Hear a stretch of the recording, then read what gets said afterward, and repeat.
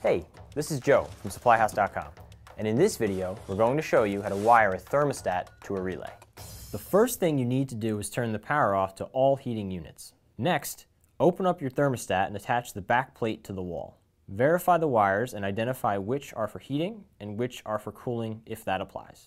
Luckily, ours have labels. If yours do not, you may need to use a toner. The wiring we are using is 18 gauge with 5 conductors. For this demonstration, we'll say that it's a heat-only setup, so there's only one wire. You will want to peel back the wires you aren't using. In this case, we will peel back yellow and green. The colors don't technically matter, but they are an easy way to remember.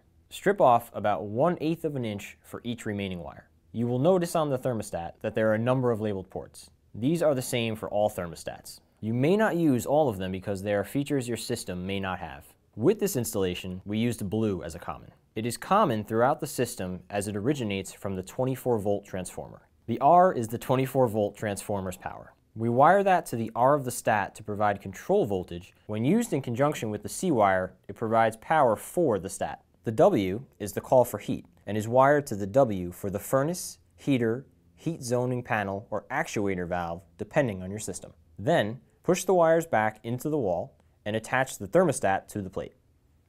Next, we will wire this thermostat to our switching relay. We wired one thermostat, but for this example, we will wire two zones to this relay. First, cut back your wires about a quarter of an inch. The first thermostat, let's say from the second floor, will come into the relay and connect to zone 2. We will only use the W wire for this thermostat since it will be stealing power from the furnace or boiler. For the first floor thermostat, we will use all three wires. First, connect the white wire to the W, the red wire to the R, and the blue wire to the common.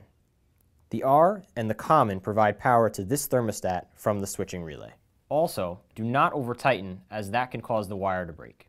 Now, the relay will convert the 24 volt signal from the thermostat into a high voltage signal to activate a circulator pump, zone valve, or actuator connected to the bottom portion of the relay.